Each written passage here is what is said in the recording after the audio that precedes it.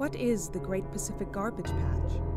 The Great Pacific Garbage Patch is a plastic mass floating in the Pacific Ocean. A plastic mass that is at least twice the size of Texas. A plastic mass that is at least 10 meters deep. A plastic mass that weighs at least 100 million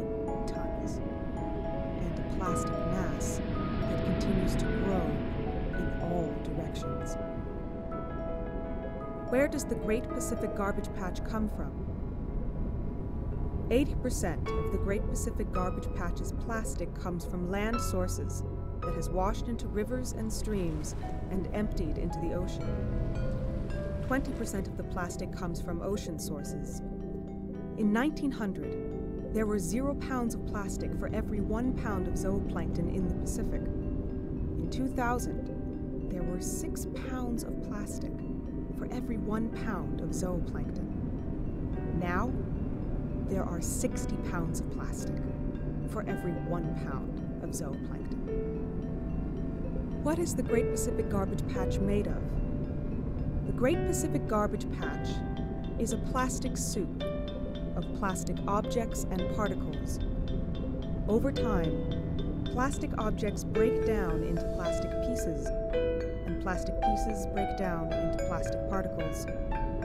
But it's all still plastic. Plastic that releases the poison, bisphenol A, as it breaks down. Plastic that does not biodegrade. Plastic that will be around forever. Are there other garbage patches? There are five known garbage patches in oceans around the world, growing every day, fed by plastic pollution. What can we do about the Great Pacific Garbage Patch? The Great Pacific Garbage Patch is a problem that can be stopped at the source.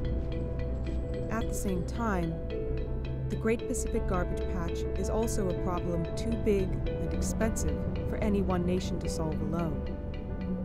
Great Pacific Garbage Patch is a global concern that requires global solutions. What this means is up to us.